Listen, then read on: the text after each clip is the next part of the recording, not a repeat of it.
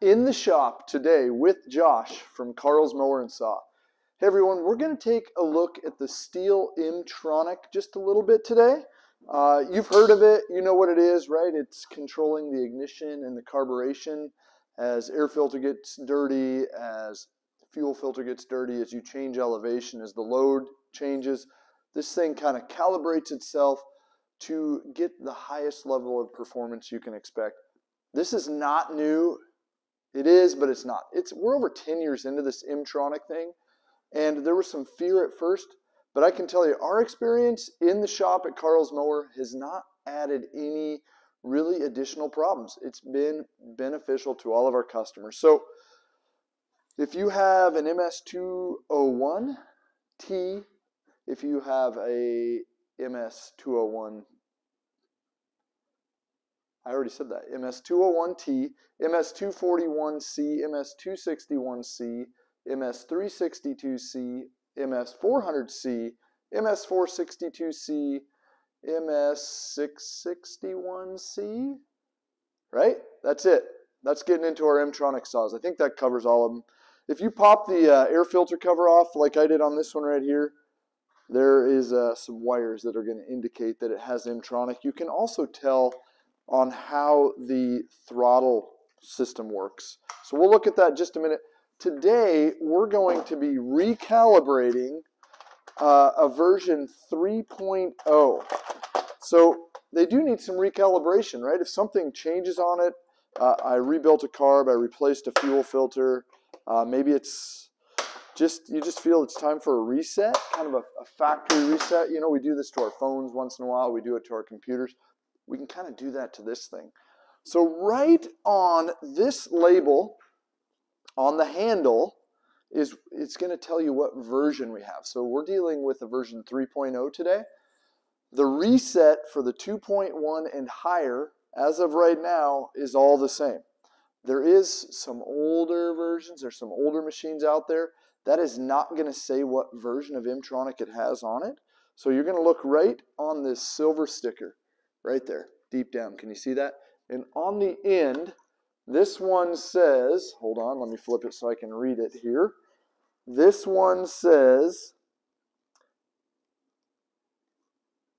M 3.0, right there on the back, right kind of by the ANSI. Uh, on an MS201T, it's on the back, okay, just so you know. So you can look on that sticker and it's going to tell you if it's an old version, meaning not a 2.1 or higher, your reset will be different. I don't have one of those saws here with me today, so I really can't uh, show you exactly how to do that one. So on this guy, what we need to do first is squeeze the trigger and put it in the start or the cold start position. This is where you start this machine up, and when you fire it up, it's kind of running it like an enriched idle, just a, a little sputter, but not like a full choke would be. I'm going to let it run on this position for 30 to 60 seconds. No less than 30, no more than 60.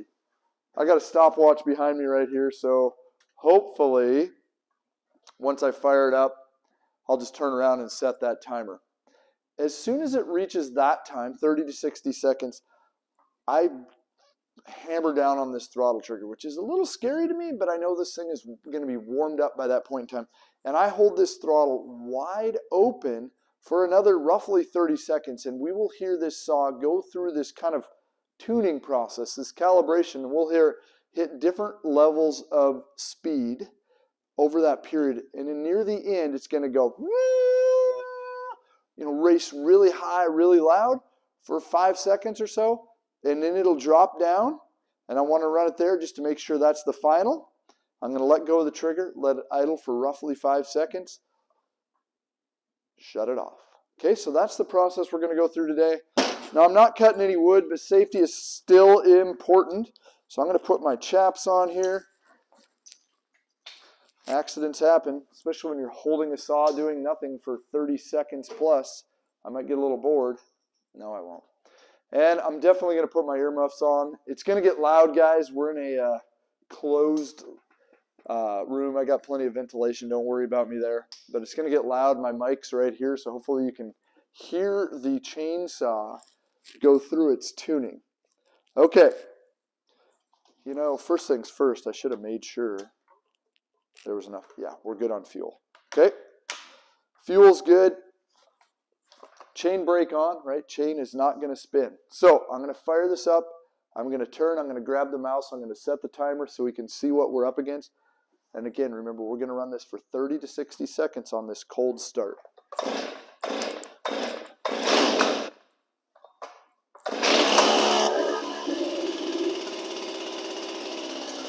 Timer is started.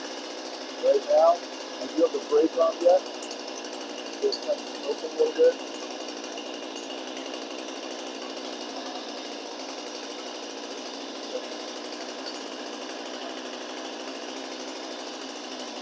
Goes a little bit longer. Again, 30 to 60 seconds. Hopefully you can hear the loud noise.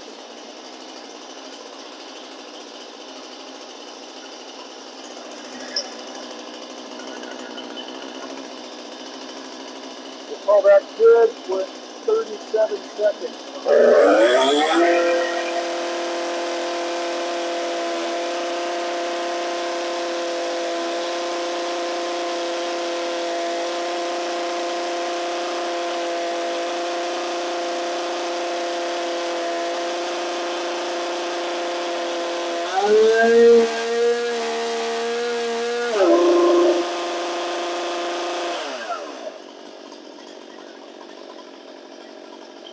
You heard that, right?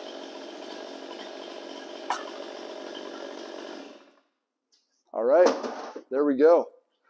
That was loud. Sorry about all that noise. Did you hear that though? Right? You heard me when I came on. It was kind of doing this fluctuation at that high speed, and then all of a sudden the thing just ripped. Sounded awesome. It was ready to go to work, and then it dropped back down. Ran it there for just a little bit to make sure that was the final setting.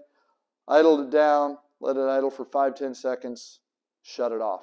So there we go, a Stihl MS261C. You can set do that same recalibration process on any of your Stihl M-Tronic saws that are version 2.1 or higher. Remember that's hiding right on this sticker back here, so look for it. Look for it to say M 2.1 or M 3.0. If you have an older version, a different version, there is a different recalibration process. I'm going to try to get my hands on one. I don't have any in the shop right now It's because it's M-Tronic and it works. Hey guys, I hope this video helps you all out, gives you an opportunity to uh, keep your saw in its best running performance condition. We'll see y'all soon. Hey, this is Josh from Carl's Mower and Saw. Thanks for watching our videos. We're proud of the fact that we've been serving you with the best in outdoor power equipment since 1990.